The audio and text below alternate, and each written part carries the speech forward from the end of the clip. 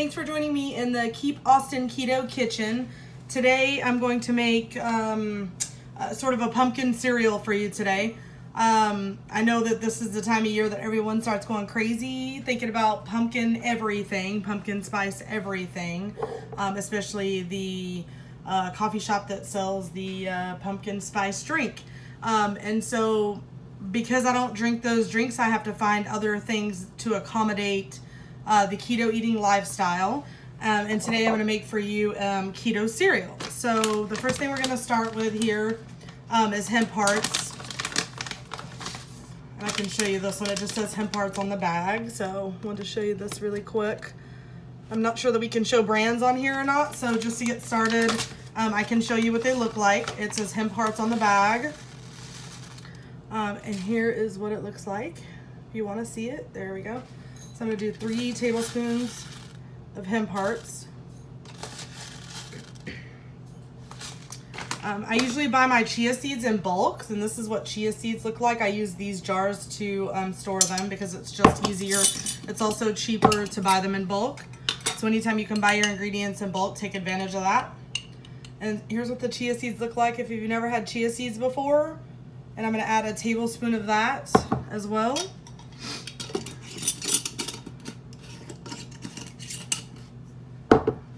And then I do like a lot of spice. And so just grab yourself some pumpkin spice. I don't know if you can see that or not. It may be upside down.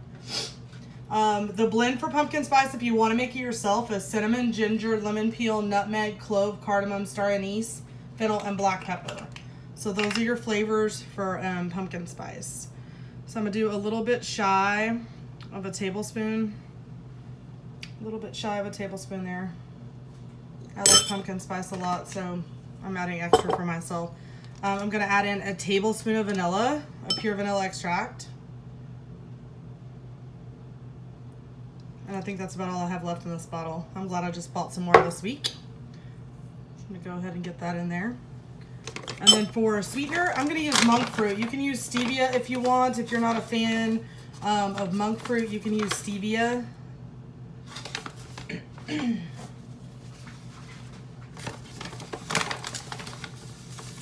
so I'm just to do about a tablespoon of monk fruit as well. I'm to put that in there because this is like a bowl of cereal. Um, it will have crunch just like cereal. So you could take advantage of... Um, of having a bowl of cereal again. I miss, uh, to a degree, I miss cereal, and so I like the options that I have um, to make this particular thing. Uh, the next ingredient I'm gonna add is um, pumpkin, and I'm gonna add a half a cup of pumpkin into this, and just get yourself, make sure it doesn't say pumpkin pie filling, okay? When you get that, make sure it just says uh, pumpkin and not pumpkin pie filling, okay? So there's a half a cup. I'm gonna go ahead and add that in. And you could do this one of two ways. You can either make this now and store it in the fridge and have it for breakfast if you like more of an oatmeal style cereal versus um, like a more crunchy style cereal with a little bit of texture in it. I prefer the texture most of the time, so I like to have this right after I make it. Um, I'm going to use the same container to add in uh, my liquid, and I'm going to add in some coconut almond milk blend, and I'm going to add in a half a cup to start. And then just give that a good stir. You want to get everything mixed in together.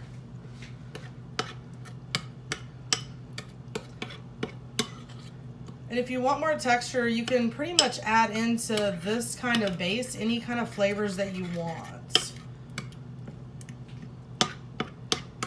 So that, see how that looks like pumpkin? So you just want to get this all stirred in and blended together. And it looks like a lot of liquid, but if you don't plan on eating this in 20 minutes, because there's chia seeds in here, um, chia seeds absorb liquid pretty quickly. Um, and so in the next, oh, I'd say 20 minutes, you'll see this change if you haven't eaten it in, you know, the first 20 minutes after you make it.